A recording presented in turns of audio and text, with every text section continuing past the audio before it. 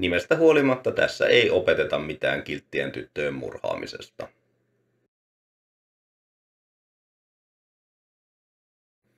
Holly Jacksonin Kiltin tytön murhaopas kertoo siitä, miten Pippa tutkii koulutyön varjolla paikallisen teinin murhaa.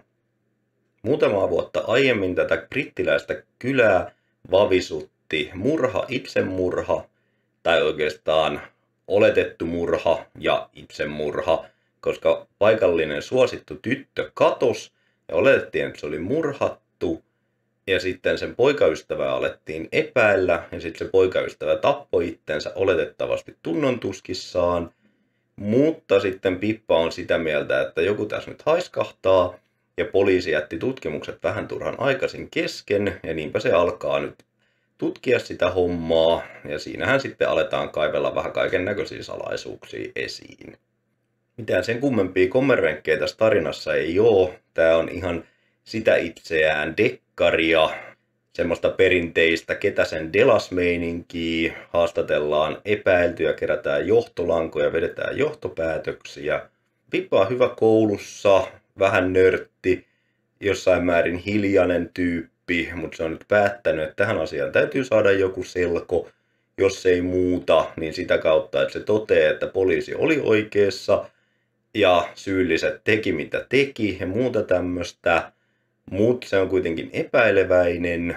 Ja sitten se saa siihen kaveriksi Jeesaileen sen itsemurhan tehneen pojan pikkuveljen, joka on nyt kanssa ehtinyt varttua vähän vanhemmaksi. Ja sillä on ymmärrettävästi asioita hampaankolossa, koska koko kylä vihaa niiden perhettä, koska ne pitää syyllisenä siihen tytön murhaan. Ja se on ymmärrettävästi ollut siellä pienellä paikkakunnalla aika nahkeeta elää sen jälkeen. Ja nämä tutkimuksetkin lähtee vähän niin ja näin käyntiin.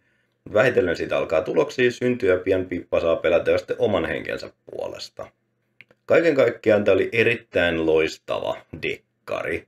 Tämä oli just semmonen, mitä nyt voisi toivoa, erittäin tarkkaan harkittu.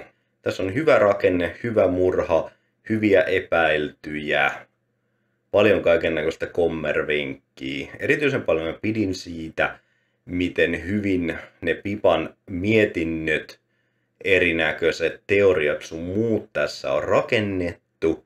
Aina kun siinä alkupuolella esitellään joku uusi epäilty tai johtolanka, niin mä olin sillä että hmm, toi voisi tarkoittaa tota. Ja sitten Pippa tekee välittömästi sen saman johtopäätöksen, mikä pitää sen tosi tuoreena ja jännittävänä, koska on erittäin ärsyttävää tämmöisissä kirjoissa, jossa itse lukijana keksit jonkun johtolangan merkityksen tosi paljon enemmän kuin päähenkilöt tekee sen. Ja oli tosi jännää ja mielenkiintoista yrittää sitten arvata, että minkä näköistä kommervenkkiä siinä sitten tulee ja mitä Pippa ei osaa arvioida tai nähdä ennalta, koska ainahan näissä on jonkun näköinen yllättävä käänne tai yllättävä epäilty tai muuta, mikä paljastuu myöhemmin. Mä osasin päätellä sen, että miten se murhasysteemi on tehty, mikä oli tosi kivaa, koska tämä oli rakennettu just niin hyvin, että sen pysty tekemään, niin okei, siinä on toki apua siitä, että on lukenut dekkareita joskus ennenkin, koska kyllähän tämä pelaa niillä vahvuuksilla, niillä säännöillä, mitä nyt yleensäkin, mutta se tekee sen tosi tosi hyvin, ja tämä oli aivan loistava. Tämä on just semmoista tosi toimivaa dekkarimeininkiä, mitä nyt voin vaan kuvitella olevan. Ja tämä oli oikein piristävä tuttavuus, etenkin kun ottaa huomioon, että mä olin just vähän aikaisemmin lukenut sen laamakirjan ja se oli tosi hylsydekkari. Et mitään oikeastaan isompia huonoja puolia tässä ei edes ole. Et mä en siitä lopusta sano sen enempää mitään, mutta siinä oli yksi semmonen juttu, mikä oli mun mielestä pikkusen kaukaa haettu, mutta se oli loppupeleissä niin sivuseikka, että ei se haitannut mitenkään kauheasti. Että oikeastaan isoin, tosin siltikin aika pieni ongelma on se, että Pippa ei ollut mun mielestä mitenkään ihan superkiinnostava päähenkilö. Se on hyvin kirjoitettu esiin mitään, se oli hauska, mutta se on jotenkin semmoinen tosi nähty, stereotyyppinen koulussa pärjäävä nörttityttö. Ja niitä on aika monta erinäisissä kirjoissa. Ja mulle tuli jotenkin semmoinen fiilis, että vitsi, että olisipa välillä semmoinen dekkari, missä se suosittu kusipäätyttö tutkii niin kuin sen kiltin kivan tytön murhaa tai jotain tämmöistä, että olisi ollut vähän niin kuin erilaista särmää, mutta sekin nyt on aika marginaalinen ongelma.